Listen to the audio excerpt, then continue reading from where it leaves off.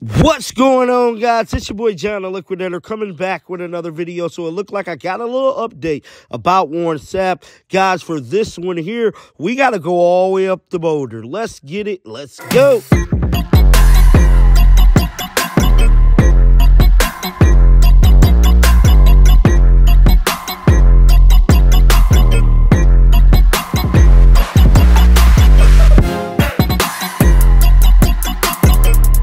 Buffalo fans is still patiently waiting on the arrival of Warren Sapp.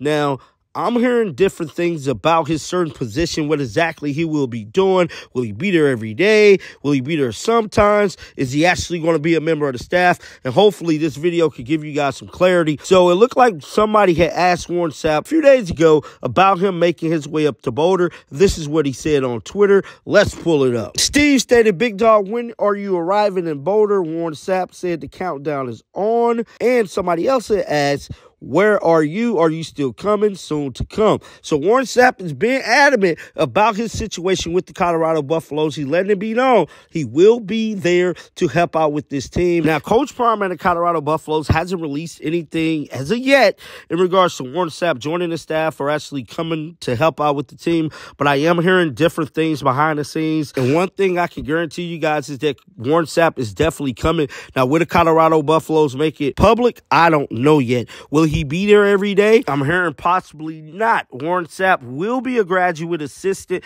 That's something that we all can confirm. But as of right now, he is not in Boulder from what I'm hearing.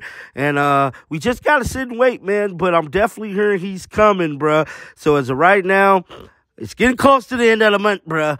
We need to see Warren Sapp, dog. That's all I'm saying. He could definitely help out with that defensive line front. But as of right now, as more updates come out about him coming, you can trust me when I tell you I got you. Get down in the comments section. Let me know your thoughts about this. And the Colorado Buffaloes is currently on spring break, dog. Today is day one. So uh, it's going to be a long week, everybody. But definitely keep them post notification bells on. I'm going to try to track down as much news throughout this week as I can.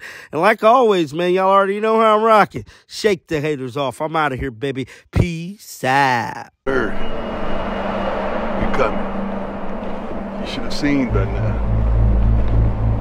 Coming. Yeah, they talking about it. We coming. They doubting us. We coming. They, saying. We coming. They think it's a game.